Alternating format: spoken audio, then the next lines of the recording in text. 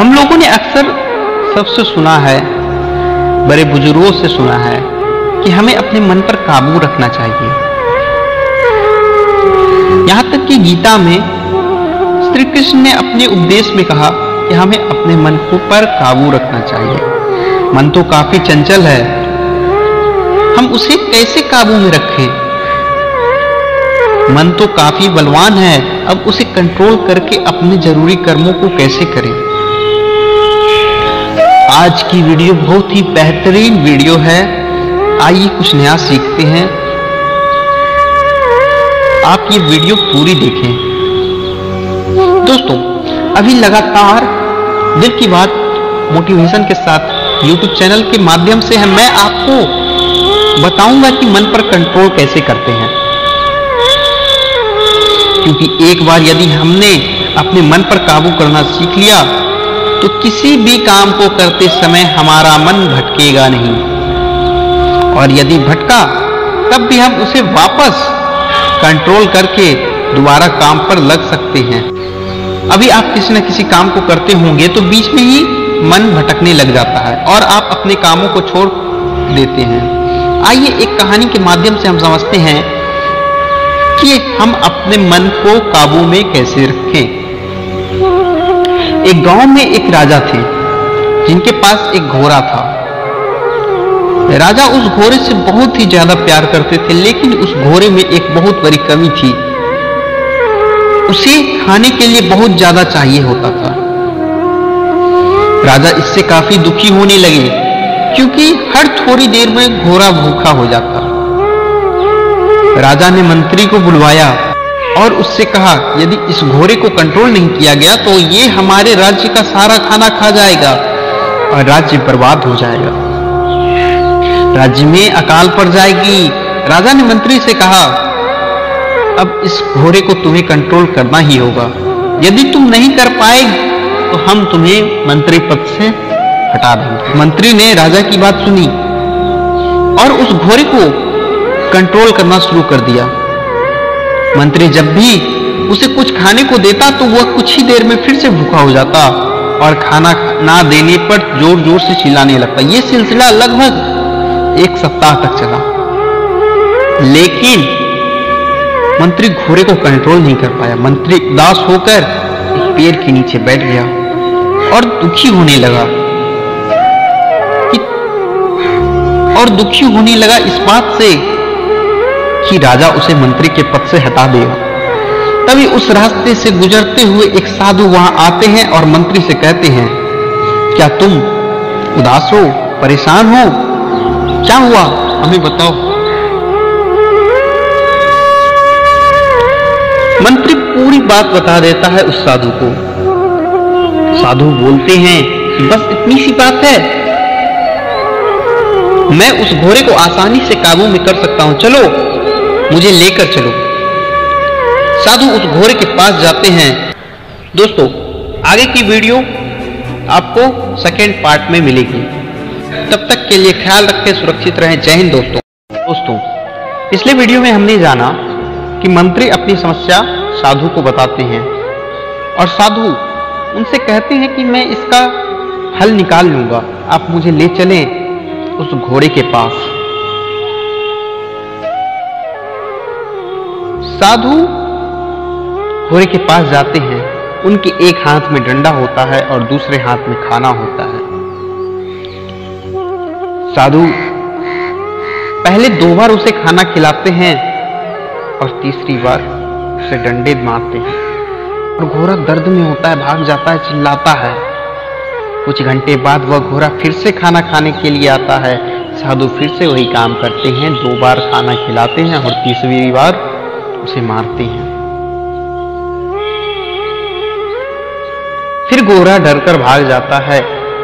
अब घोड़ा फिर से आता है और दो बार खाना खाने के बाद वो बिना मार लगने से पहले ही वहाँ से चला जाता है, क्योंकि घोड़े को समझ में आ जाता है कि अब उसे फिर से मार पड़ने वाली है अगर वो तीसरी बार खाना खाया तो। और ऐसे करते करते साधु कुछ ही महीनों में घोड़े को पूरी तरह से सुधार देते हैं। अब वो सिर्फ़ दिन में तीन बार खाना खाता है। दोस्तों, घोड़े की आदत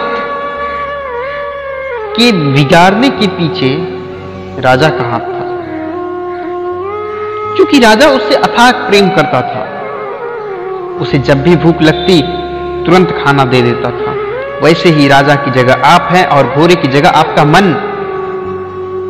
आपका मन आपसे दिन भर कुछ ना कुछ माँगता है। कभी गेम खेल लो तो किसी से बात कर दो। कभी फालतू के वीडियो देख लो तो कभी बाहर घूम लो। या कोई नशा कर लो या कभी ऑनलाइन रह लो। या कभी पबजी खेल लो या कभी फ्री फायर में डूब जाओ। और आपका मन वह चीज़ तुरंत दे देता है। और आप मन को वो चीज़ तुरंत दे देते हैं। इसलिए उस घोड़े की तरह आपका मन बेकाबू हो चुका है।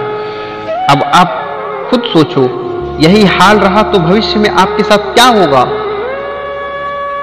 आपका घोड़ा आपके पूरे साम्राज्य, यानी कि आपके पूरे लाइफ को बर्बाद कर देगा और इसके जिम्मेदार सिर्फ़ आप होंगे। क्या आप जानते हैं 90 परसेंट लोग जन्म लेते हैं और सारे उम्र रोते रोते गुजार देते हैं और मुझे उनके दुख से कोई फ़र्क नहीं पड़ता। मुझे उनके दुख पर कोई दया नहीं आती। अब आप सोच रहे होंगे कि यह व्यक्ति कितना कठोर है, कितना निर्लज है, जो कि लोगों के दुख से इसे कोई फ़र्क नहीं पड़ता। तो एक बात सोचो, जीवन सबको मिला है। लोग अपने मन के मुताबिक आँख बंद करके चलते हैं तो अंत में दुख होते हैं। कि मेरी किस्मत खराब है, मेरी किस्मत अच्छी नहीं है, मेरी आदत खराब है उन्होंने अपने मन को कभी काबू में रखा ही नहीं, बल्कि हमेशा अपने मन की बात मानते रहे। कहीं अपने घोड़े, अपने मन को ज़्यादा खाने मत दो। उसमें उसकी नहीं, बल्कि आपकी गलती है। यदि आपने हर समय मन को उसकी पसंद की चीज़ देने पर रोक नहीं लगाई तो आपका जीवन के अंत में 90 परसेंट लोग में शामिल हो जाओगे, जीवन में कुछ बड़ा नहीं कर पाओगे। तो आपको एक परसेंट लोग में शामिल होना है तो इतिहास उठाकर देख लो। दुनिया वही लोग बदलते हैं जो खुद पर कंट्रोल करते हैं, मन को काबू में रखते हैं। अब आपको यह करना होगा कि आप घोड़े को खाना कम दीजिए। आपको छोटे छोटे नियम बनाने होंगे। अभी घोड़ा हर थोड़ी देर में खाना मांग रहा होगा। तो आपको उसे समझाना होगा कि ज़्यादा खाना खाना तेरे लिए सही नहीं है। यदि अभी वो एक घंटे में दस बार खाना मांग रहा है तो केवल आठ बार दीजिए। उदाहरण, यदि आप दिन में 24 घंटे बर्बाद कर रहे हैं तो एक नियम बनाइए कि आज से हर हाल में एक घंटा ईमानदारी के साथ पढ़ाई करूँगा। जब आप एक घंटा किसी को देना शुरू करेंगे तो आपका मन में आएगा, काम छोड़, मोबाइल चला इससे बात कर, ये काम ज़रूरी है, वो काम ज़रूरी है। थोड़ा ऑनलाइन रह, थोड़ा पबजी खेल, थोड़ा टिकटॉक की वीडियो देख। और भी ऐसे विचार आएँगे आपके दिमाग में, उस वक्त आपको खुद से कहना है, एक घंटा तो मैं अपने इस काम को दे रहा हूँ। अभी तो मैं किसी हाल में नहीं उठने वाला। आपका मन थोड़ी देर में फिर आपसे कहेगा, बाद में कर ले पढ़ाई, बाद में कर ले काम। लेकिन आप फिर से उसे वही कहना, अभी नहीं, एक घंटे बाद, चार से पाँच बार साफ़ साफ़ मना कर देंगे तो आपका मन समझ जाएगा। बिल्कुल उस घोड़े की पिटाई की तरह। जैसे घोड़े की पिटाई होने पर वह नहीं आने लगा तो आपको भी बार बार मना करना होगा अपने मन को। आपका मन समझ जाएगा। चुप रहने में ही भलाई है और वो अपने काम में आपका साथ देना शुरू कर देगा। इस तरह आप धीरे धीरे मन पर काबू कर पाएँगे। मन पर काबू करना सीख जाओ और मन आपका बात मानना शुरू कर देगा। यदि आपको एक घंटे भी ज़्यादा लगता है तो तीस मिनट और वो भी ज़्यादा लगता है तो, तो पंद्रह मिनट काम कीजिए पढ़ाई कीजिए। जो आपके लिए ज़रूरी है और यदि मन किसी और काम को करने के लिए कहे तो उससे कहना बाद में मिलते हैं यार। अभी तो काम को करे बिना नहीं करूँगा, बाद में वो काम करूँगा। इसी तरह आप मन पर काबू पाना सीख सकते हैं। और यदि आप इसकी प्रैक्टिस हर दिन करोगे तो कुछ समय आपका खुद पर इतना काबू हो जाएगा कि आप दुनिया में महान लोगों के लिस्ट में शामिल हो जाओगे। आप जिस टाइम वीडियो देख रहे हो, आओ। और कम से कम 15 से 30 मिनट किसी एक काम को लो। और उसे पूरा करके देखो, इससे आपको असली खुशी मिलेगी और कॉन्फिडेंट भी बढ़ेगा कि मैं कुछ कर सकता हूँ। यदि आपने इस वीडियो को एकदम पूरा ध्यान से देखा है तो मैं दावा कर सकता हूँ कि आप थोड़ा सा ध्यान दोगे तो आप अपने मन पर काबू कर सकते हो। दोस्तों, आज का यूथ गलत दिशाओं में आगे बढ़ रहा है। यदि आप इस वीडियो को शेयर करेंगे तो इस वीडियो को देखकर बहुत सारे लोग सही रास्ते पर आएँगे। उन्हें हिम्मत मिलेगी। आपके एक शेयर से बहुत से लोगों की मदद होगी। इसलिए इस वीडियो को ज़रूर शेयर करें। आपके शेयर करने में कोई पैसे नहीं लगेंगे। आपके शेयर से किसी के जीवन में बदलाव ज़रूर आएगा। इसलिए इस वीडियो को तुरंत शेयर करें और आज के यूथ को सही मार्गदर्शन देने में मेरी मदद करें। यदि इस पोस्ट से थोड़ी भी मदद मिली हो तो लाइक करें। आपके लाइक से मुझे पैसे नहीं मिलेंगे, लेकिन मुझे खुशी मिलेगी। मेरी पोस्ट से किसी लोगों की मदद हो रही है। और इसी तरह के बेहतरीन वीडियो को देखने के लिए चैनल को सब्सक्राइब करें और बेल आइकन को प्रेस करें। मकसद आपको, आपके जीवन की सच्चाई बताना है। थैंक यू दोस्तों। और कमेंट बॉक्स में यस लिखें ताकि मुझे पता चले कि कितने लोग काबू कर सकते हैं। जय हिंद, दोस्तों। मिलते हैं अगले वीडियो में।